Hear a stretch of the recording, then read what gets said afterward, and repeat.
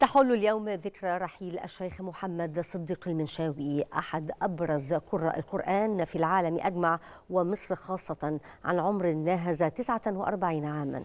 هو أثرت نشأته وسط أسرة قرآنية عريقة من أعلام التلاوة في العالم الإسلامي أيضا في أدائه المميز مكنه من أن يحجز مقعدا رئيسيا بين عمالقة دولة التلاوة المصرية.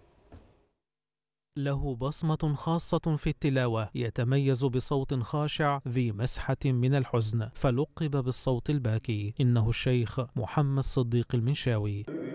أحد رواد التلاوة المتميزين بتلاوته المرتلة والمجودة. ولد الشيخ محمد صديق المنشاوي في يناير من عام 1920 بمركز المنشاة بمحافظة سوهاج لأسرة متدينة عاشقة لجمال تلاوة القرآن الكريم حيث كان والده وجده من القراء المجيدين. للشيخ المنشاوي العديد من التسجيلات في فلسطين والكويت وسوريا وليبيا وأتل القرآن الكريم في المساجد الرئيسية في العالم الإسلامي كالمسجد الحرام في مكة المكرمة والمسجد النبوي في المدينة المنورة والمسجد الأقصى بالقدس.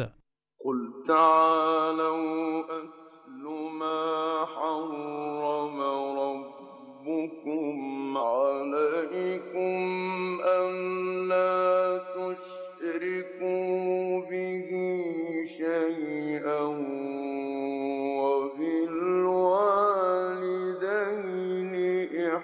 إحسانا ذاع صيته ولقي قبولا حسنا لعذوبة صوته وجماله المتفرد إضافة إلى إتقانه لمقامات القراءة وكان على رأس قراء مصر في حقبة الخمسينيات من القرن العشرين. قال عنه إمام الدعاة الشيخ محمد متولي الشعراوي إنه ورفاقه الأربعة مصطفى إسماعيل وعبد الباسط عبد الصمد ومحمود علي البنا ومحمود خليل الحصري يركبون مركبا ويبحرون في بحر القرآن الكريم. ولن يتوقف هذا المركب عن الإبحار حتى يرث الله الأرض ومن عليها. وفي مثل هذا اليوم الموافق للعشرين من شهر يونيو من عام 1969 رحل عن عالمنا صاحب الصوت الباكي محمد صديق المنشاوي تاركا وراءه إرثا كبيرا يتمتع به عشاق دولة تلاوة القرآن الكريم في أرجاء المعمورة. قل تعالوا أتل